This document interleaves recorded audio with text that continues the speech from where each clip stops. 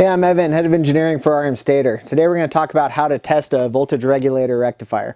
So this is going to cover um, the kind of standard basic style regulator rectifier this is the most common um, for a three-phase stator. These generally have three yellow wires for the stator input. And then they'll have uh, usually a red and a green or a black for the battery output. Red is usually battery positive and green or black is battery negative. So um, this is not specifically for testing MOSFET regulators. Uh, the testing procedure is very similar and we'll mention what's different later on. Um, but uh, the results are slightly different. Anyways, uh, first we're going to talk about uh, basically what a voltage regulator rectifier is uh, and kind of how it works. So then when we explain how to test it, you understand what you're doing. So I'm not just saying connect this uh, wire to this wire and see what happens. Uh, you'll actually know how it works and what you're doing when you test it. So we have a diagram here on the whiteboard um, and we're going to talk about um, how this all works together. There's a couple functions inside of these, and you've heard them called regulators or rectifiers, uh, voltage regulators. Well, they, they have uh, those two words in a rectifier and regulator because they perform two functions, and they're both uh, critical to your battery charging system. So first we're going to talk about the rectifier side and then we'll talk about the regulator side. The rectifier side is what you can easily test on the bench with the regulator removed from the vehicle um, or you can test it um, on your motorcycle or ATV with it installed and you do not need the motor running. Uh, in fact, you do not want the motor running for this test. Uh, the regulator side, we can only test with a running vehicle. We have to have the stator producing power running into the regulator to see if it regulates correctly. Okay, so what we want to know is what is the rectifier part and how to how what are we doing when we test it. So this diagram hopefully is really simplified but will help you uh, understand what's happening and, and, why you're testing it this way. So we have a stator um, that is producing current. It has three, for this standard type we're talking about, has three coils on it. It's called a three-phase stator. Um, and we're running that voltage uh, that's being produced by the stator into our regulator rectifier unit. So if you can see down here, I kind of drew a drawing. Stator, uh, stators are producing alternating current, which means the, the voltage being produced by the stator is going both positive and negative. So we can kind of see in this drawing, we've got uh, plus here, we can see that the wave is going positive and then it's going negative. And that's because we have magnets that are producing the current inside the stator and these magnets have a north and a south pole. So you're kind of think about it like pushing and pulling almost uh, you're pushing and pulling current through the stator windings depending on which pole of the magnet is passing. Um, well that's all good but to charge a battery, we need what's called direct current. So we need to get rid of the negative portion of the wave or convert it all to a positive polarity so it can be passed on directly to a battery uh, in the format that a battery expects it and can use. Um, that's what the rectifier does. Uh, the rectifier is responsible for basically trimming the negative half of the current we don't want from the stator. Or in cases like this, which is called a full wave rectifier, which I'm not going to go into the details about, but we can actually use all this current uh, to charge the battery instead of just throwing away half of it. So what uh, what happens is we have current being produced in the stator coils here, and I have the three wires from the stator coming in, and they attach uh, to points inside the rectifier, which is a circuit board in there, um, that are in between diodes. Now, uh, the diode is actually what we're testing when we bench test a rectifier. Uh, a diode is an electronic component and it's drawn with an arrow like this with a line over it that indicates current can only pass in one direction. If we pass current the other direction, it will block it. It will not allow it through. So the upside of this is this component is perfect for what we want to do, which is basically only let current through in one direction, which is what our battery needs, and prevent it from going in the opposite direction, which would not be good for our battery. So, okay, great. Well, now we know that we have these diodes in here. These are called, it's called a, a diode bridge or a rectifier. Um, and we have our stator coils that connect inside between pairs of diodes. Okay, so you can see each coil is going to uh, a circle here in between two diodes that make up its rectifier.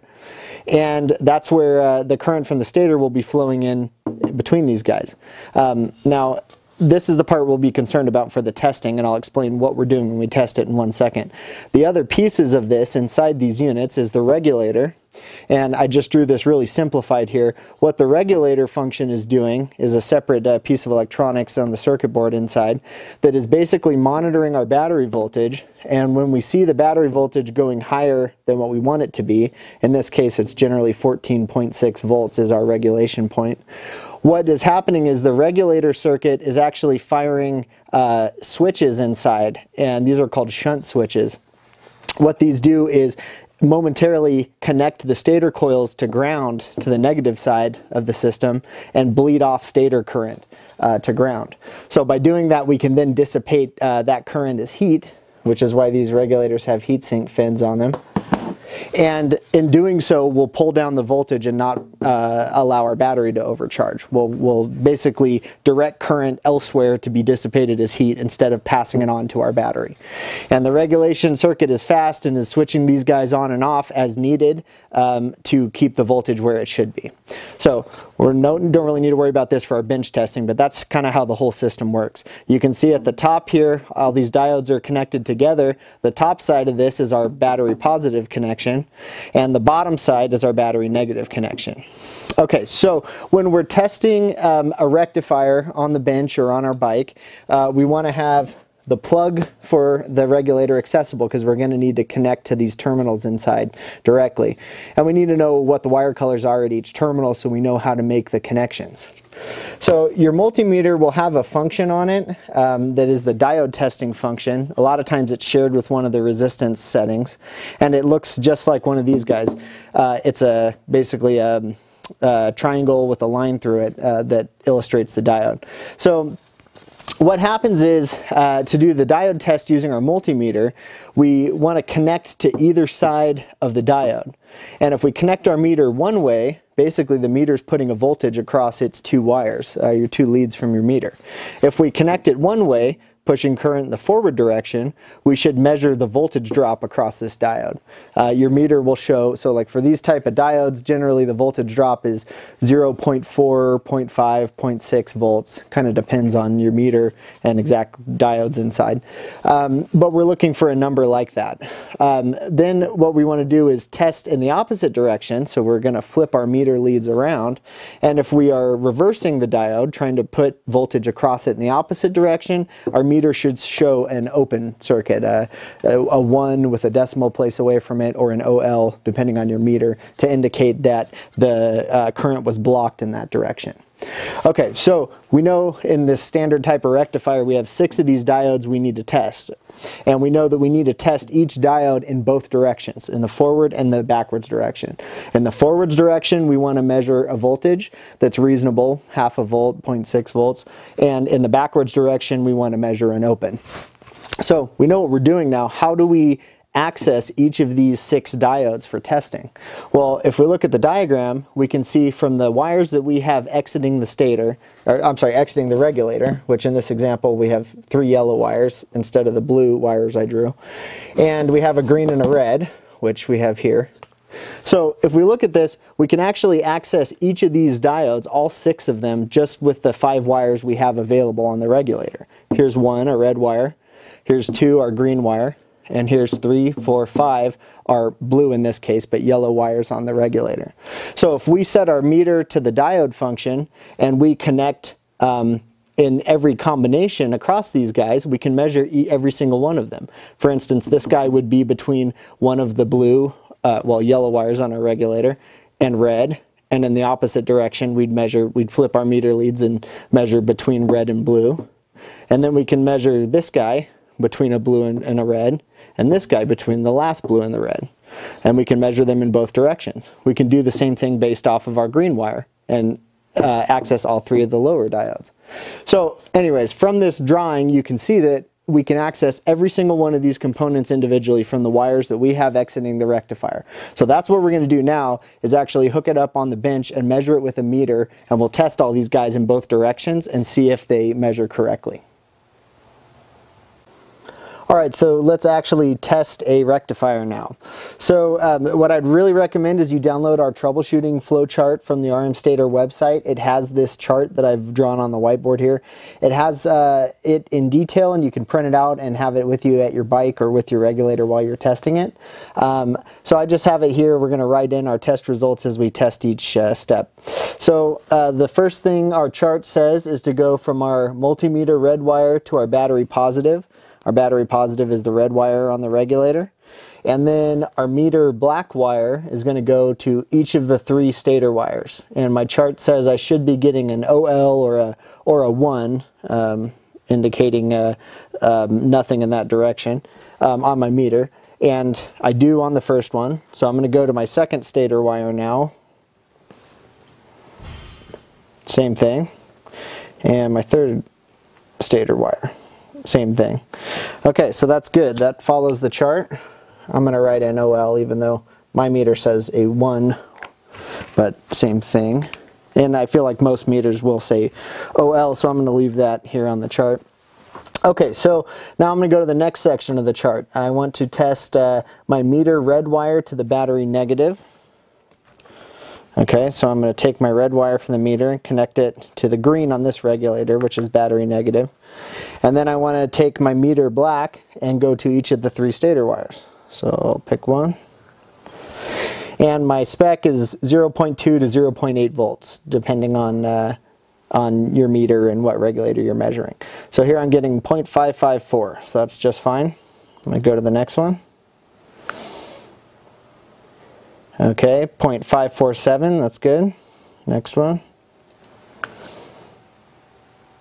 And 0.496, so that's good as well. So I'm going to write in my numbers here. And 54. Okay, so now we have tested one set of diodes both directions. Let's go to the next. So I'm going to take meter black wire to the battery positive okay? And then I'm going to take meter red wire to the three stator wires. And I should be measuring a voltage on this test as well. Okay, 0.557, that's good. Number two. 0.568, that's good. And next, 0.494. Okay, I'm to write in my 0.5, 0.5, 0.4, since of course I don't remember the exact numbers anymore. Okay, last section, we're going to go from meter black wire to battery negative and meter red to each of the stator wires, and I should get an open in this direction. And I do on number one. I do on number two. And I do on number three. So I can write that in as well. Okay, excellent. So if you remember from the drawing we looked at previously, now I have tested all six diodes in the rectifier in both directions and I got a voltage drop or current flow in the forward direction and I did not in the backwards direction, which says that the diodes in the rectifier are doing exactly what they're supposed to. So now you know how to bench test the rectifier. Um, make sure you check out uh, the next section of the video which shows you how to actually test the regulator function and uh, we're going to be doing that on our test bench which will simulate you actually testing that on your running motorcycle. Okay, so here's how we would actually test a regulator on the vehicle. Um, now, obviously, we're not on a motorcycle here. We're using our test bench, but the process is the same. So you want to do your rectifier testing first, which we just covered, um, and then you want to test your regulator. So your um, what you're testing for is at the regulator is to actually measure um, battery voltage and see that it is regulating correctly. That means we want to see the battery voltage rise as we increase RPM in the motor and then we want to see it limited to the correct voltage which for these type of regulators is about 14.6 volts. It depends on the situation and what kind of load you have on it and how charged your battery is and a lot of other factors whether or not you'll see exactly that voltage but you need to see to know your regulator is working correctly that your voltage is being held down uh, in the right range so around 14 and a half volts or so. So here we're basically simulating the setup on your motorcycle. We have a flywheel and a stator turning over here. Here is our stator connector that's running into our regulator on the yellow wires. And then we have our battery connections out on the red and the black or green wire coming out of the regulator. So here we have the same connection you'd have on your bike. If you were testing this regulator on your bike, you'd actually connect your multimeter directly to your battery terminals. Uh, and measure the battery voltage. You want to set your multimeter to the 20 volt DC voltage setting. Um, so I have that all set up here and we don't actually have a battery here. We're using large capacitors. That's why we're measuring no voltage right now.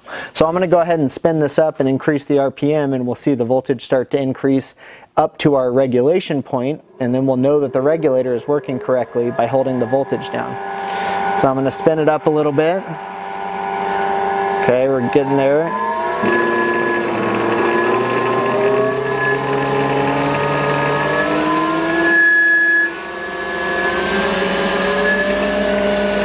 Okay, so now we can check our voltage and see that no matter how much I increase the RPM and increase output from the stator, we're holding the voltage down. It's stopping at about 14 and a half volts, no matter how high the output is. So that tells us that the regulator is good. And I'm gonna switch in a load here so we're running more current through it. And we'll see the voltage drop a little bit because I put a large load on the electrical system. If I switch it off, we should go back to full regulation. 14 and a half volts, which we do. So I'll go ahead and turn this down so you can hear me better now. So that's what you want to look for on your uh, motorcycle or ATV. You want to go ahead and connect to your battery and start the motor and then you want to measure the battery voltage and rev your uh, motor up. About 5,000 RPM is a good place to check because that's at about the peak output of the charging system. And you should see your multimeter showing uh, the battery being held to about 14 and a half volts. That tells you that it's regulating correctly. So that's how you test your regulator and your rectifier. Hey, we'd really appreciate it if you'd like our videos and subscribe to them uh, and leave comments on the videos and let us know what you want to see next.